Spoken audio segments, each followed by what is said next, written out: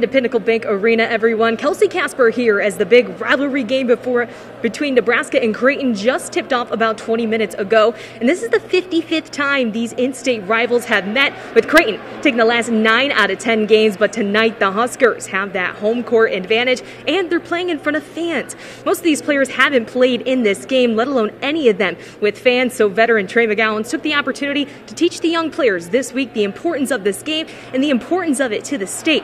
Well, head coach Coach Fred Hoiberg prepared these guys for a quick Creighton team that's good in transition. He says they had to take the positives out of that Sam Houston game and hopefully carry over what they've been doing in practice.